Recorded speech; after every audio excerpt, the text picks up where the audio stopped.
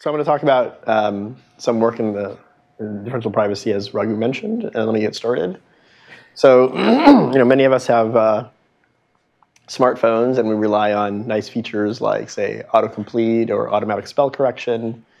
Um, and you know, how does how does all this stuff work? Well, you know, um, I'm not a machine learning expert, but uh, I know that, and you all probably know that that gets used, which means that the, the the server, whoever's running uh, the operating system, needs to, or the app needs to, like basically learn from our data. So you can imagine this cartoon example. There are end devices and, and smartphones. Each one has some data, like the last word you texted. And say, for example, the server wants to know the word distribution amongst devices. So there's a histogram F. F sub x is how many devices just texted the word X. Okay, so simple, right? Each device sends a copy of all its text messages to the server, and the server knows everything and can answer questions like this. Uh, but there's a constraint, privacy. Do you really want whoever's designing these apps or making these phones to be able to read all your text messages? Probably not. So the basic idea is to send randomized messages and add noise. Actually, I'm just show of hands, like who here works in privacy or knows anything about differential privacy? Okay, who doesn't? Okay, there are some who don't. So that's okay. So uh, brief uh, crash course. So here's the here's a picture. This is this is actually bogus. Okay, this, this, is not really how it works, but and we'll see why it's bogus, and we'll see how it should work. But for example, let's say my text message is an image. So me at my the baby shower for my first child, um, you know, and people are passing around this funny this uh, image around via text. And you know, you, you will send when you text your friend this image, you will do you will text them the true image. But to the server, you're not going to send the true image. You're going to send some noisified, randomized version of it, where maybe you add some static, or maybe you add a whole lot of oops, you add a whole lot of static. Like, this is not exact. This is not at all how, how anything works, but uh, this is just where you know I'll, I'll, get into how things work soon. And the idea is that um, you know we don't just have one person with a smartphone. We have millions of people out there in the world with smartphones and maybe want to know like did this particular image of Jelani of me drinking from a bottle go viral or not. So we look at our million devices. Each one is sending some message. Some of them are sending the message of me with a bottle. Some of them are sending a picture of a cat or whatever else they're sending. And we just want the server to somehow aggregate all these noisified, randomized messages and be able to extract knowledge from the aggregate. So in particular, it'd be nice if the server can say, oh, this is approximately an image that many people are sending, although I can't identify which people are sending this image. Okay? So that's the, that's the kind of goal that we would be happy to see. Uh, so the moral of what we want is you know, have each individual message look like random garbage to the server, thus protecting individual privacy. But the server can still extract useful knowledge from the aggregate without being able to identify anything about a particular person. Um, but what exactly does privacy mean? Does adding static, like I showed you, actually give what you want? And probably not, because I mean, this is a real thing that I did. I, I, ran, I, I took that image of me with a bottle, I heavily noisified it, and then I ran it through some Python library that has wavelet denoising uh, as you know, some implemented algorithm, and it's, it spat that out. Okay? And this is concerning because what I said was, you don't want to learn anything about any individual. You should only learn in the aggregate. But this is only one individual message. And from that one individual message, this wavelet denoising, whatever it is, learn quite a lot, right? And look, you can kind of tell that it's a person drinking something. You shouldn't be able to do that kind of stuff. So we have to be careful with the definition and come up with mechanisms that, you know, make sure the definition makes sense, and then like have algorithms that actually provably satisfy the definition. Okay. So we're going to use local differential privacy, which is not something I invented. Um, the, the idea is going to be what you saw, that the device I sends some random message m sub i that is only weakly correlated with its data. Its, its data is x sub i. x sub i could be the picture of me with a bottle. It could be a picture of a cat, whatever the message was. And one individual's device should look like random noise almost, but such that the server can extract signal in the aggregate. And the privacy definition we use is the standard one that's kind of the gold standard now, which is uh, differential privacy, which was uh, introduced by Dwork, McSherry, and Nissim Smith in 06. And for our scenario, this is what it means. For the local model, this is what it means.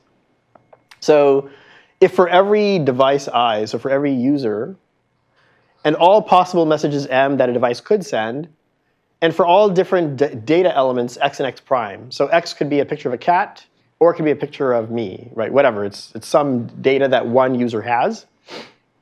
The probability that, that, that the ith device sends m as its message, given that it has a picture of me, compared with the probability that it sends the same message, given that it has a picture of a cat, the, the ratio of these probabilities should be close to 1. It should be bounded by some e to the epsilon. So if you think for a moment, um, for those in the room who haven't, who said they haven't seen differential privacy at all before, if epsilon equals zero, then e to the zero is one. So you're saying the ratio is at most one, but I could change who I call x and who I call x prime, which means the inverse ratio is also at most one, which means it equals one. What does that mean? It means that the probability that you send this message is the same no matter what your data is. So it doesn't depend on your data at all, right?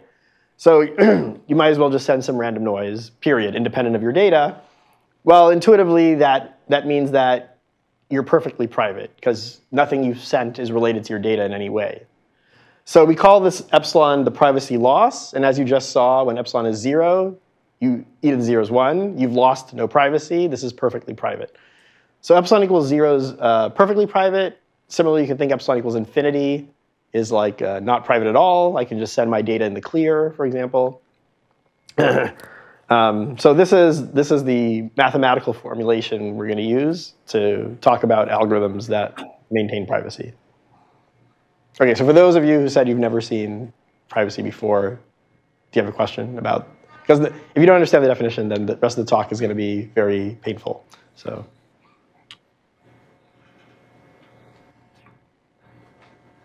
Okay. Okay. Uh, oops.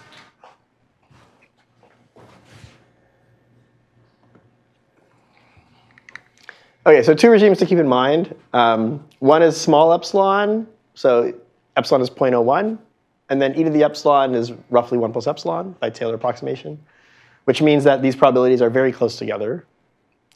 Uh, the other is large epsilon, and by large I mean like 5 or 10, I don't mean a million. Um, and from what I understand, it's what's usually deployed in practice.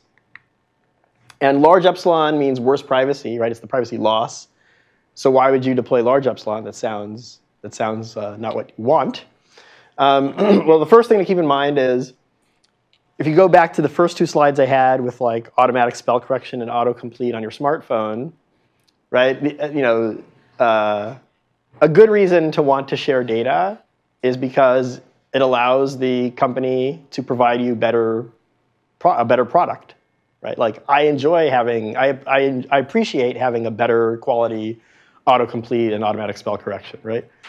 Which, so um, the more knowledge that I allow the server to extract from my data and all the other users' data, like the better quality product that will translate to into the future. So on the one hand, I as a user appreciate that. On the other hand, I as a user care about my privacy too. So these two things are attention. Even me as a user, I kind of want both. I do want, you know, maybe I do want you to share, know a little bit about my data so you can train your ML models. Um, so there's this fundamental trade-off between the utility, which is the quality of the knowledge the server can extract, and the privacy, which is this privacy loss parameter. Um, so you know, from the perspective of whoever's making the product, whoever's making the automatic spell correction, they would love to just know your data in the clear without any privacy, right? Um, so, so then, you know, the, the, question is like, how, how little privacy can I give you so that you're happy? Um, but there's a silver lining here. One, okay, the first thing I want to say is that in, in some of the problems we're going to consider today and other problems, if you insist that epsilon is super small, like 0.01, the utility is so bad that you know the, the automatic spell correction is going to be crappy. Okay? But the silver lining is that there's something you can do called shuffling, which automatically improves privacy. And I'm not going to say anything more than it about what you see right here, but um, basically it's a different model that's related to the local model. But what, you know, what these theorems say is if you design a protocol for the local model and prove that your protocol satisfies epsilon equals 6, let's say, and then you just take that protocol and deploy it in a slightly different model, then epsilon kind of automatically improves as the number of users grows. Okay, so if you have if you do have a million users, then actually your real epsilon in the new model is actually 0.01 or whatever. Uh, I'm slightly cheating. There's a difference between pure and approximate DP, whatever, but this is roughly what it says. So it's kind of, you know, using this, it's kosher to develop algorithms with epsilon being five or six, and then deploy them in this alternate model. Okay. So here, uh, sorry, shuffling just means like forgetting whose data is whose. Yeah, but so yeah, there's like someone who sits in the middle Yeah. who, who receives all the messages Yep. and then randomly permutes them and then forwards them on. So is there, I mean, just an informal statement you're going to make about what does epsilon improve to? Like, Yeah, I think it's something like e to the epsilon over root n, something Okay. like that, Right. where n is the number of devices. And there's also some dependence on. that becomes the new epsilon. that becomes- yeah, the old, if the old epsilon is epsilon, the new epsilon is e to the epsilon over root n. Okay. So you can think like if epsilon is five, Yeah. e to the epsilon is 150. Okay. But if n is a million, then you've saved something. Okay. Okay, so good. So I'm going to talk about two problems today. The first one is histogram estimation. So remember the, I, I, at some point I had some graphic where I said there are n devices, each one has a data element, and then there's a histogram. f sub x is the number of devices whose data is x, okay? So, so that's the problem. The problem is like each device sends a randomized message to the server. The server wants to estimate this histogram, this vector of counts. And we're gonna, you know, if you say estimate the histogram, it's not going to be perfect reconstruction. There's going to be error. We're going to measure the error as the L2 distance, specifically this average distance squared between the true count and our estimated count. F tilde is the estimated histogram. And now we, we're putting on the hat of algorithm designers. So uh, what you know, when you're designing the algorithm, what are the things you're trying to optimize? So there, I'm going to put five things down on the slide. For each one of them, you can imagine that if you fix all the other four, ideally the fifth should be as small as possible. So you know, there's the privacy loss epsilon. The smaller, the better. There's the utility loss, which is the mean squared error, which is this average squared uh, L2 norm. There's there's uh, the communication, right? So each device has to send bits, send a message to the server that takes some number of bits. Ideally, I want those messages to be short to be communication efficient. And there's runtime. There's the time it takes the server to take all the messages and run some algorithm on them to extract the answer. But there's also the device runtime, which is I'm a device with my data. I have to generate this randomized message. I want that to be fast. Okay. So ideally, you want all five to be small simultaneously, but maybe there are some trade-offs, and you want to understand the trade-off space. So um, before I tell you kind of what we did, I'll just say a little bit about some simple examples of what was already out there. There, there are other, other examples that I'm not going to get into that are a little bit less simple. But an old one is randomized response. What is randomized response? Each device sends its true item x. So the domain is of size k. We imagine that all messages are just, say, integers from 1 to k. So we have a domain of size k. So each device sends its true item x with probability e to the epsilon p. Epsilon is this privacy loss parameter, so you have to know what privacy loss you want. Otherwise, you send a uniformly random other item such that each other item has probability p of being sent. So what is p? There's only one value of p where this makes any sense because you will send something. The probability you send something is 1. But the probability that you send something is e to the epsilon p for the true item. And for all the other items in the universe, I said it's p. So that sum has to be 1, which means p is determined. Okay. And then how does the server then estimate the frequency of x? You use some unbiased linear estimator. So what do I mean by that? For each message mi, so let's say I'm trying to estimate for a specific x, how many devices do I think hold x? So for each message mi that I get from the ith device, if that message equals x, I add alpha plus beta to a counter. If it doesn't equal x, I only add beta. If xi does equal x, okay, notice I always add the beta, right? So no matter what, I always add the beta. If xi does equal x, what's the probability that I also add the alpha? It's e to the epsilon p. And when, when I do add it, there's an alpha there. So that's the expected contribution of this counter when xi actually does equal x. And when it doesn't equal x, this e to the epsilon p becomes p, right? So now if I want, you know, a natural thing to do is choose the coefficients alpha and beta so that this is unbiased, which means I want the first thing to be 1 and I want the second thing to be 0. So I solve for alpha and beta and I get something. So at this point, this is a full scheme. I've told you exactly what the devices do. I've, I've told you exactly what the server will do to estimate the counts. So now you ask, is it good? The, without giving specific uh, quantities, well, the, the pros are that it's low communication. There's basically no communication overhead. Normally, if I were to send my data in the clear, it'd be log k bits. It's an element in a domain of size k, it'd be log k bits. I'm still sending an element in a domain of size k. So it's still log k bits. And the device time is, you know, constant, right? In some, in some reasonable model of computation, word RAM or whatever. And the server runtime is also linear, right? So for the server, the server will just initialize this histogram to all zeros, and it'll add beta times n to every single counter, because um, you always add beta for everything. And then for each message, it'll add the alpha to the appropriate bucket.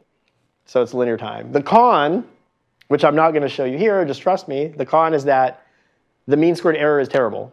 Remember, the thing we cared about is like accurate reconstruction. What's the L2 norm between f and f tilde? The expectation of that is actually quite bad if you do the calculation. OK, so that's that scheme.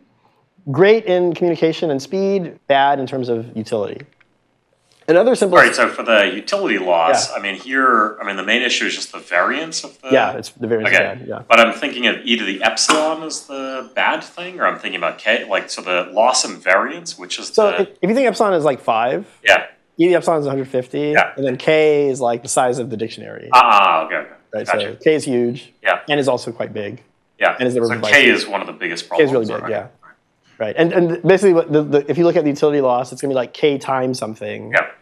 So my statistical, like my uh, sample complexity, get the same accuracy, you know, increases based on the dictionary size. Say, say, it, say it again. Say it again. I mean, could you think of this as like this, you know, sample complexity to get a good estimate of the underlying distribution is like growing? Yeah, maybe that's. Okay. Um, okay. Yeah, but yeah, if if k were small, this wouldn't be so bad. If k were two, this wouldn't be bad. This would not be bad. Okay. Another simple scheme is subset selection which is um, each device. Okay, so now you pick D to be some integer. Each device sends a random subset of the domain of size D. Now the question, so there are basically uh, k choose D different messages that could be sent. So I have to assign probabilities to each one. So how am I going to do that? If my, if my item is in S, I'll assign probability e to the epsilon p to S. If my item is not in S, I'll assign probability P. Again, there's only one value of P that makes sense because the probability that I send something is 1. There are K minus 1 choose D minus 1 that do contain. There are K minus 1 choose D that don't, blah, blah, blah. I get P. So this is, this, this is what I do on the device side. On the server side, I do something similar to last time. For each message, the message is a set. If the set contains x, I'll add alpha plus beta. If it doesn't contain x, I'll only add beta. I'm trying to figure out, do I think this message is a vote for x or not? So this is how I determine whether it's a vote for x or not. Um, and you can write, if xi were x, what would the expected, expected contribution be, if, as opposed to if it weren't. Solve some linear system. Um, it tells you what alpha and beta should be. Alpha and beta will be functions of k and d and epsilon. Okay. and the point is d was a free parameter this whole time. Remember, if d were 1, if d is 1, this is randomized response. Okay, but d is a free parameter. So now that I have some kind of expression, algebraic expression for the mean squared error, the variance, I can choose d to optimize it. And basically, the best d you should pick is an integer that's close to this, k over e to the epsilon plus 1. So that your communication is terrible. Exactly, right. So as you said, the cons, terrible communication because you're basically, think of e to the epsilon as 100, 150. You're sending 1% of the entire domain as your message. And the domain is huge, the message, you know. So, uh, and, and because all these messages are ginormous, your, your run times are also going to be really slow too, because you're passing around these huge messages and operating huge, huge messages. The, the pro is that Ye and Barg showed that for a given epsilon, this scheme gets the optimal, maybe up to 1 plus little o of 1, the optimal utility loss. Not even, not just big O, not up to a constant factor, but up to, you know, 1 plus little o of 1, okay? So in terms of utility loss, this is kind of the gold standard we're going to try to match. Okay, but we want to be paper, efficient. Right? Huh? It's the same paper. Oh yeah, sorry. This, I don't know why I said it was 6. It's the same. Yeah, it's, sorry. Yeah, yeah. I need to fix that. yeah, yeah, yeah. They proof their lower bound 11 Yeah. That's right. Okay, so let me first say a meta approach, which uh, there's another algorithm called Hadamard response. I'm not going to talk about how it works, but one thing you can extract from that paper that introduced Hadamard response is what I'll call a meta approach, which is um, let's just say there's an arbitrary, there's a message space. Okay, so be, you know, in, the, in, in uh, subset selection, the message space was all subsets of size d. In randomized response, it was the domain itself. But like, let's just say there's some message space. I can, I'm free to choose it as the algorithm designer. And um, let's do some, like, let's introduce some combinatorial design. So, um, so we're gonna, for each element of the domain, one to k, we're gonna associate with it a subset of message space. So for every x, I'm gonna associate with it s sub x, which is a subset of message space. And all the s sub x's have the same exact size, little s. And they're a design, meaning that for different domain elements, their intersection sizes of their, of their S sets are, are exactly the same. I'm going to call these S's the preferred message list. So S sub x is the preferred message list for x. The mechanism is going to be similar to before. For a given x, if a set is a preferred message, I send it with probability e to the epsilon p. If it's not a preferred message, I send it with probability p. Okay? And again, you can solve for p. um, there's only one value of p where this makes sense, where the probability that you send a message is 1. And how are you going to estimate the number of occurrences of x? Similar to before, for every message, you'll only add the alpha of the message as a vote for x. If the message is preferred for x, you always add the beta. And then you do the same tricks about solving for alpha and beta, so it's an unbiased estimator. And then you, you get basically some linear equations, you solve them, you have alpha and beta. Okay. Now, uh, the next slide is just uh, to show you that you can do some very concrete calculations. They're not too hard, but you do some variance calculation, voila, okay? And the variance, when you, it has two terms. The one that I'm going to focus on that turns out to be the dominant term is the one in blue. And the punchline is that if you look at this thing in blue, this is the utility loss. This is the error. There's a y over s, which is the ratio between the, the number of messages that exist divided by the size of the mes preferred message list for any one user, or for any one domain element. And there's also L over S, which is the intersection size between two different preferred message lists divided by the size of the message list. And the, the mean squared error increases as both of those increase, so you want these small. You also want y itself to be small. Just to be clear, why do, so let me quiz you. Why do you want y to be small? Yeah. Communication, right? Communication is log y bits, right? So you also want y to be small. Okay. And if you, if you, if you think about, if you, if you now with this kind of general expression, if you go back to, if you go back to um, like uh, subset selection and ask like why was it so good, basically the reason it's so good is that the L and the S work out to exactly cancel this, and the y over s also equals this, and it just that turns out to be, I guess, the optimal thing to happen. Okay, and that's what Ye and Barg told us. Oh yeah. Like, is this a de-randomization of the subset selection scheme where you were randomly choosing subsets? Yeah. Now you you have subsets that have this property of design, like any two have intersections oh. of size L. Yeah. Like, which is like a random, like, like uh-huh. sort of equidistant right. uh, thing, and therefore, like those are sufficient to do this proof calculations. Right. I mean, okay. So they're, but they're, yeah. So although they are, they are subsets of different things. Like in subset selection, the messages were subsets of the domain. Right. Here, there's some arbitrary message space I created, and you just want like some kind of combinatorial design on that.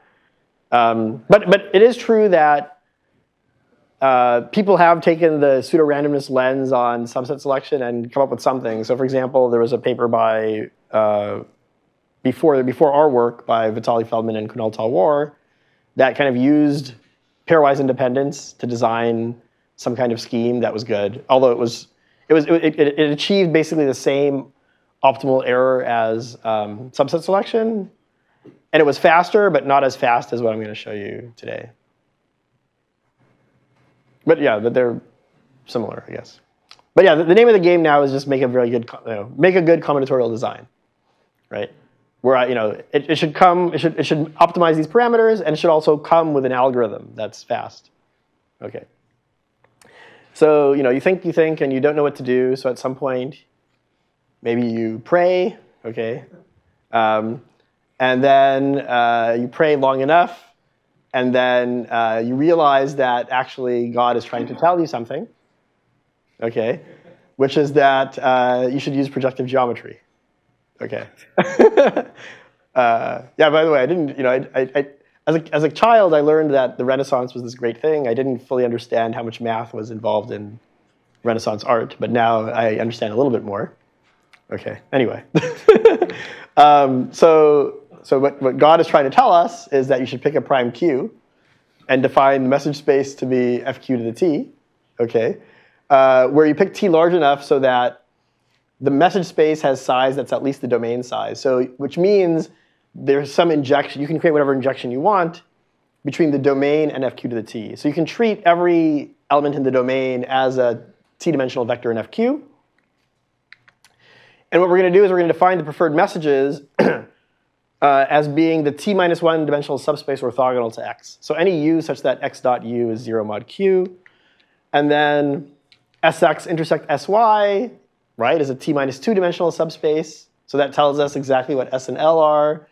So I want these things to be 1 over q. I set q to be the closest prime to e to the epsilon minus 1, and voila, I have, I have uh, a scheme. Okay. I'll, okay, but there's a minor bug, and the minor bug is, okay, like look at what if x is this element of fq to the t and y is this element of fq to the t, then the subsets are the same subset, right? So sx and sy are the same. Their intersection is not a t minus 2 dimensional subspace. It's, a t, it's still a t minus 1 dimensional subspace. So you fix that with projective geometry. So what does that mean? The projective points in fq to the t are the non-zero vectors in fq to the t who, as you go from left to right, let's say, the first non-zero you encounter has to be a 1. So basically you just, everyone who's on the, every, all points on the same line through the origin, you treat as the same point. So these are the projective points. And then now, it's not hard to show, count the number of projective points, it's that and then you pick t large enough so you can identify the domain with projective uh, points. And the preferred set now is the projective subspace orthogonal to x. That is all projective points u such that x dot u is 0 mod q. And you can compute SNL, and you set them nicely, and everything works. Okay? So that's that. Um, and you know, here's a table with um, some of the prior works compared to the new scheme. So maybe what I'll show you is like subset selection has this utility loss, which is the optimal utility loss, 4 times n times you know blah, blah, blah, blah. And that's exactly also what we get. But whereas before the runtime was n times k, and the communication was also like k, our communication is log k, and our runtime is linear. It's like n plus k times some stuff. Okay. Um, I, I should also mention that there were other works before that also got even faster actually runtime. They didn't have an e to the epsilon multiplying the runtime.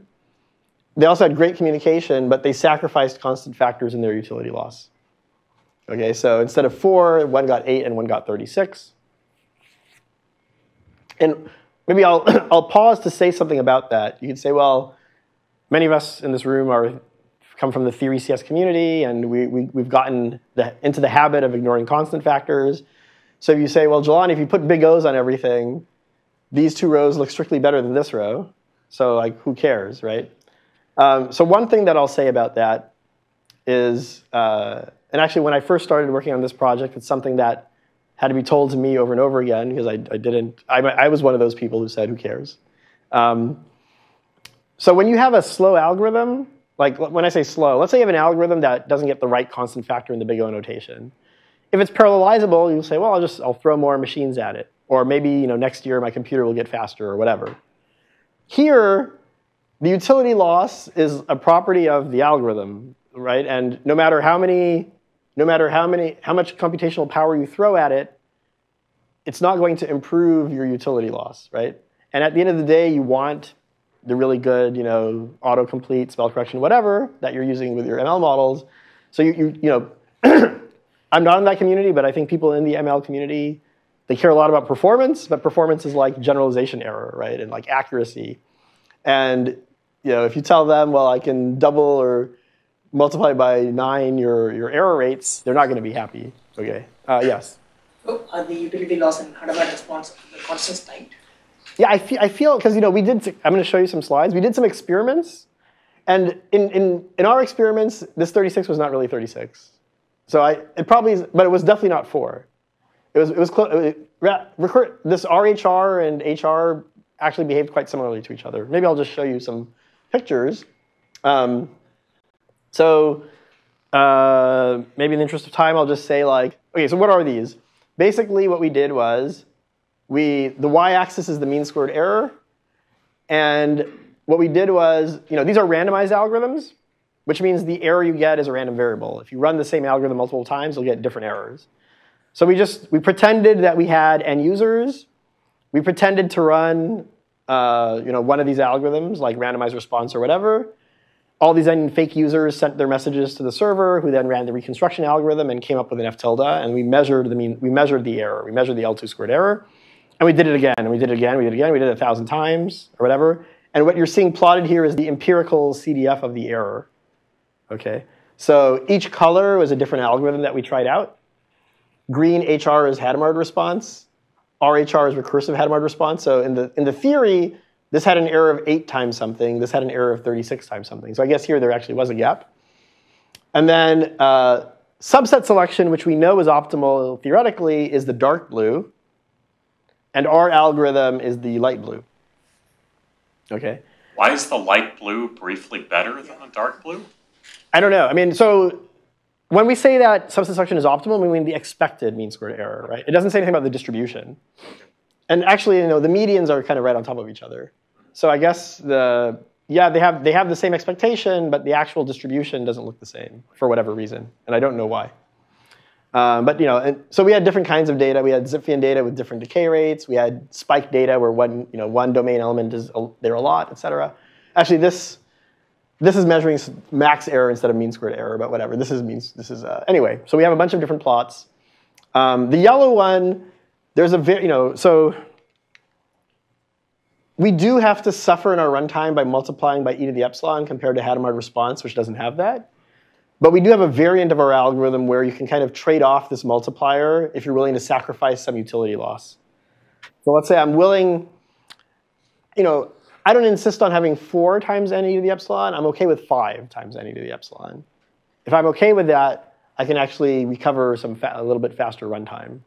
So that's our yellow curve is like, you know, running, trading off worsening the utility loss a little bit to get speed.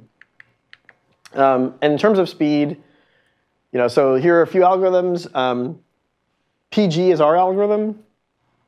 HPG3 is worsening our um, 4 to 6, I think, in the constant. And then PI-RAPPOR was the previous state-of-the-art algorithm that used the pseudo-randomness that uh, lens uh, and, and tried, you know, matched the utility loss of subset selection and was faster than subset selection, but still not incredibly fast. So on some, you know, on some input settings, um, took about half an hour. Our algorithm took about 37 seconds. If you're willing to, if you were willing to, um, oh, this is on the server side. If you were willing to sacrifice a little bit of utility loss, it became six seconds versus, you know, RHR and HR, which were like a second to half a second.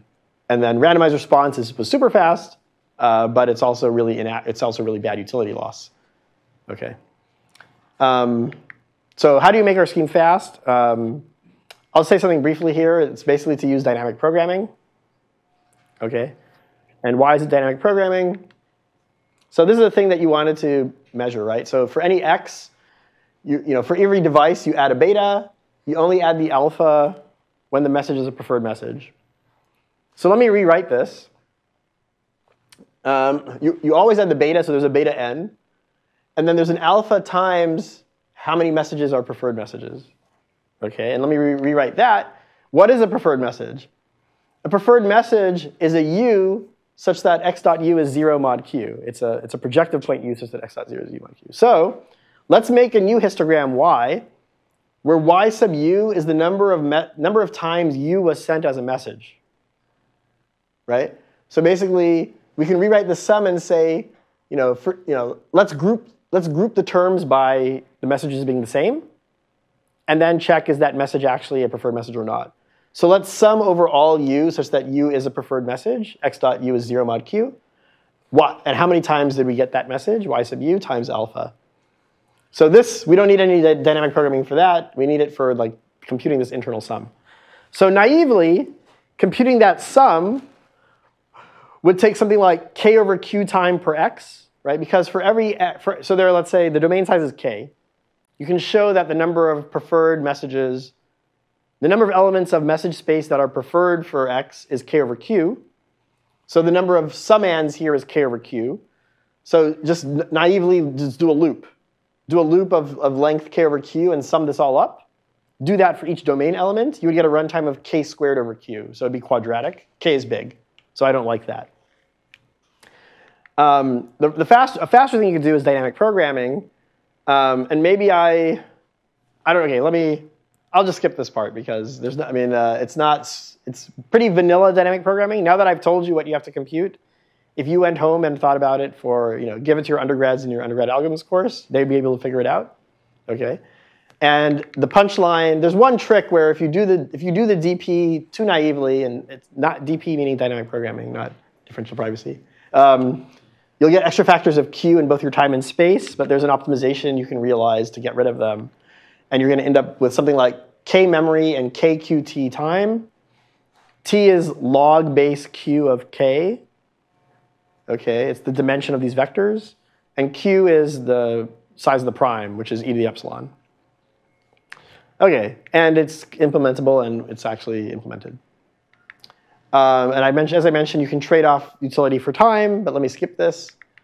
Uh, one more problem that I want to say in the last maybe 14 minutes is mean estimation, which again is a similar kind of setup. We're going to do it in the local model. There's a server.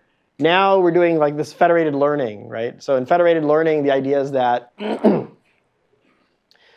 the server is trying to learn some parameter theta, which is some d-dimensional vector of an ML model, like weights in a neural network or something. And uh, every, you know, every user has its own data and can compute, let's say, a gradient based on its own data. And then the server wants to estimate the average gradient and do a, do a step in some iterative algorithm, like gradient descent or something. Okay. Um, yeah, so again, we're in the local model. Data is not centrally located. I already talked about federated learning. So you can say each device has a local gradient based on a current iterate and the server wants to compute the mean gradient for, to do a step. Um, so in the central model, if you want to compute like the average of a bunch of vectors, it's easy. You just the server will, has all the vectors, adds them, and adds noise at the end. But in the local model, it's not as clear what you should do.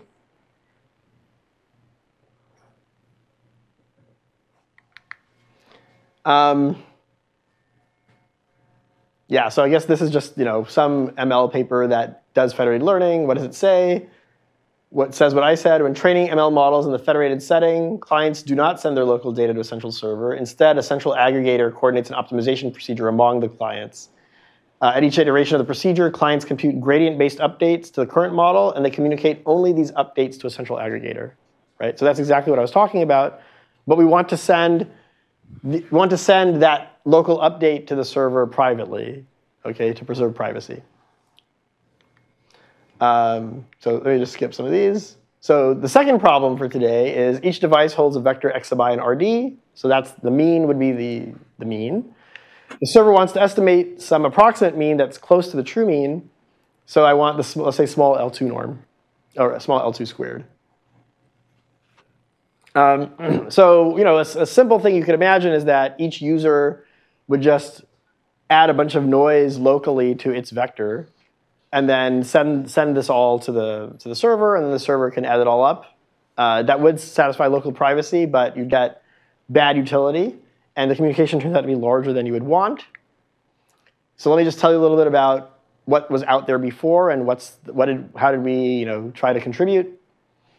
So uh, there were a couple algorithms out there, one by Duchi, Jordan, and Wainwright, and there's also one by Bhowmick et al. called PrivUnit. And both of them had expected error, which was d over n times the min of epsilon and epsilon squared, in this L2 expectation of the L2 squared of the difference. And Duchi and Rogers showed that this kind of error is, is asymptotically optimal. And in fact, not only is it asymptotically optimal, but Hilal, Feldman, or I should not say Hilal, Asi, Feldman, and Talwar showed that PrivUnit actually is the optimal algorithm. Like not even, um, it's not even optimal in like the one plus little o of one sense. It's optimal in the sense of any other algorithm, any other unbiased estimator, any other algorithm which pro- produces an unbiased estimator for this problem has expected error, which is greater than or equal to the priv unit error. So it's kind of optimal in the best hope, best sense you could hope for amongst unbiased estimators. So what is this priv unit thing anyway? um, so let's say it's parameterized. There's a parameter p and a parameter gamma, and then your input is x. So I'm a device holding a d-dimensional vector x.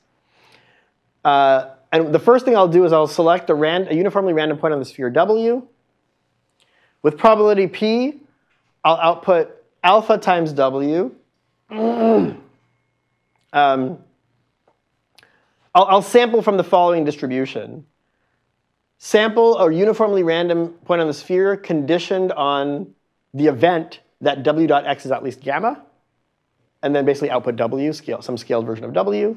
Otherwise, with probability 1 minus p, I'll condition on the event that w dot x is less than gamma, and then output w, or some scaled version of w. You can kind of think of this as like some continuous randomized response on the sphere, right? So like with some probability p, so let, let, us kind of change the way that it's phrased a little bit. With some probability p, I'll send a random point on the sphere that's close to x. Right? In randomized response, you actually send x.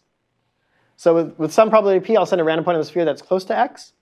Otherwise, I'll send just a uniformly random point on the sphere. Right? So it's, it's in that way, it's like randomized response. Um, and you know, when I say that they showed that priv unit is optimal, it's optimal if you choose gamma and p the right way. Okay? But that can be done. so why is there room for, for improvement? So you can sample such v in, in linear time, but communicating this v, it's a d-dimensional vector, you know, this w, oh yeah, v is the scale version of w, it's a, it's a d-dimensional vector, it's a real vector, it's gonna take at least d bits. And you can say, well, you know, just like in randomized response, there's no overhead. Like my, my input is a d-dimensional vector. I'm sending a d-dimensional vector. It turns out that you can actually do better. You can send sublinear communication and achieve the same kind of error. Um, another thing you could do, and actually I'll, I'll explain that right now. Another thing you could, a, a version of priv unit that also works is to generate v using a pseudorandom generator with small seed length. Okay, so what do I mean by that? um,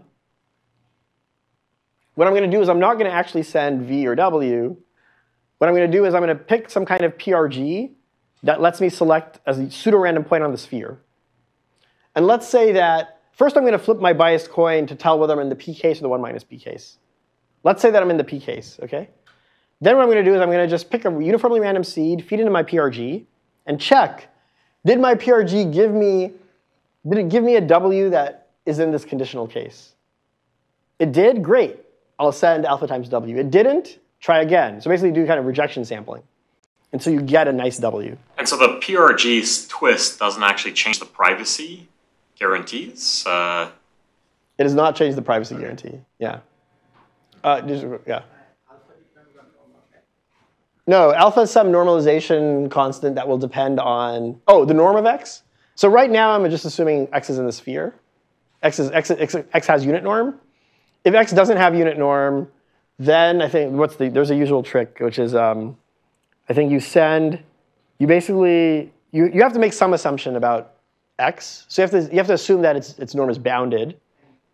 And yeah, like the, let's say the norm is bounded by one or b or whatever.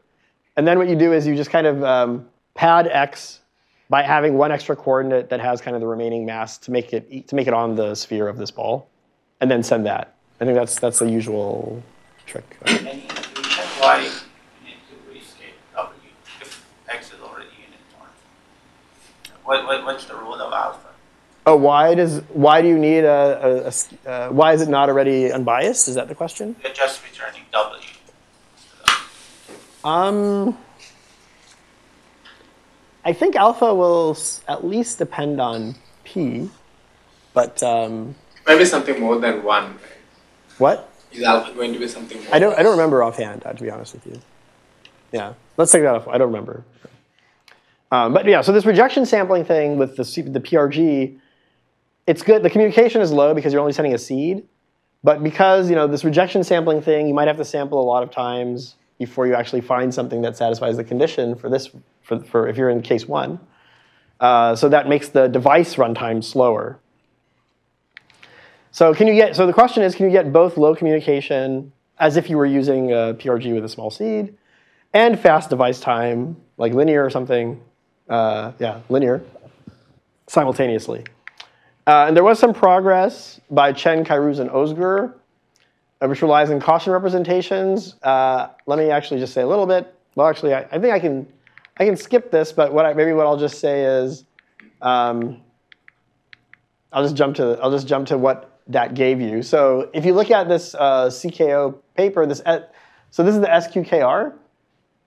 It got really low communication, epsilon, where epsilon is your privacy loss parameter.